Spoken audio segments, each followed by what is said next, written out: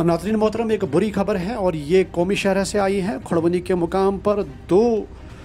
सगे भाई जो हैं, वो एक सड़क हादसे में जानबाग होते हैं। हम आपको बताएँ कि ये खड़बनी कुलगाम के इलाके में कौमी शहरा पर एक तेज़ रफ्तार गाड़ी ने एक मोटरसाइकिल को टक्कर मारा, जिसमें दो मोटरसाइकिल सवार जो आपस में सगे भाई हैं और ये दोनों मौके पर जो है जाम हुए हैं। और उनकी शनाख्त जो है, आदिल अहमद और शबीर अहमद साकिन खुल अहमदाबाद। और ये बड़ी बुरी खबर है जो कुलगाम ज़िले के लिए है और यहाँ पे एक सड़क हादसे में खुड़मनी के मुकाम पर दो सगे भाई जो हैं अजजान होते हैं और तेज़ रफ्तार गाड़ी ने दोनों सगे भाइयों को टक्कर मार दी और जो मोटरसाइकिल पर जा रहे थे और दोनों की शनाख्त जो हैं, आदिल अहमद और शबीर अहमद, साकिन खुल अहमदाबाद के बतौर हुई है। और ये बहुत ही बड़ा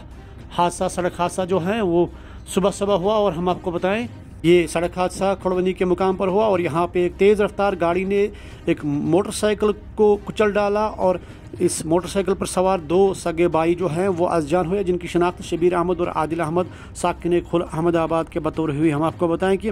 पुलिस ने दोनों डेड बॉडीज़ को फ़िलहाल उठाया और लेकिन ज़मन में पुलिस ने केस दर्ज करके, लेकिन हम आपको बताएँ कि जिस गाड़ी ने टक्कर मार दी, उनकी तलाशी जो है बड़े पैमाने पर कौमी शहरा पर शुरू कर दी गई हैं, लेकिन ये बुरी खबर है जो खड़बंदी कुलगाम से है और यहाँ पे दो सगे भाई जो हैं अजान हुए और जिनकी शनाख्त आदिल अमर और शबीर अहमद, साकिर खुल अहमद आबाद कुलगाम के बतौर हुई है और ये फ़िलहाल आप तस्वीरों में देख सकते हैं कि किस तरह से एंबुलेंस गाड़ी जो है वो पहुँची है और पुलिस ने दोनों डेड बॉडीज़ को अपनी तहल में लिया है और ये बुरी खबर जो खड़बंदी कुलगाम से आई हैं।